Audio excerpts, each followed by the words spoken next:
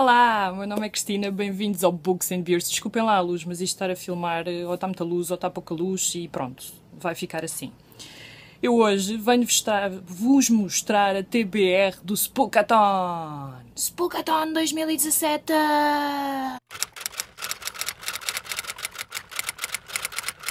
Pronto. E então já tenho aqui a minha listinha e começando por. Eu encurtei aqui um bocado as categorias só para não. Pronto, para não passar tudo para o meu papelinho. E o primeiro é um livro em que a ação se passa até ao século XIX ou anterior. E eu escolhi o Dom Casmurro de Machado de Assis, porque a ação passa-se em 1800 e troca o passo, que agora não lembro do troca o passo. Categoria número 2, um livro sobre crenças, mitos ou religiões. E então eu escolhi Humberto Eco, O Nome da Rosa, que até já tem aqui o post-it que vai ser também uma leitura conjunta, porque é sobre religião. Número 3. País onde gostarias de passar o Halloween. Ora bem, Estados Unidos, mas especificamente seria até Nova Orleans. Mas como é difícil arranjar um livro em que a ação se passa em Nova Orleans, eu escolhi nos Estados Unidos no geral e então American Gods, Neil Gaiman, a ver se eu acabo de ler porque ele está parado aqui. Número 4. Um livro em que a capa suscita terror, violência ou macabro.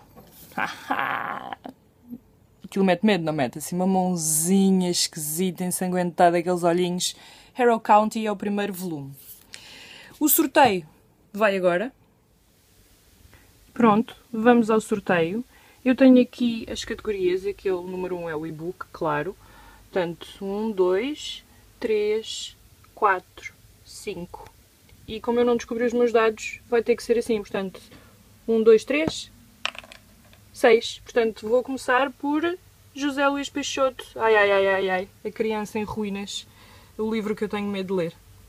E o número 6, o livro número 6, é o livro que tenho medo de ler, então tem que ser mesmo agora. E eu escolhi A Criança em Ruína de José Luís Peixoto. Eu tenho medo de ler este livro porquê?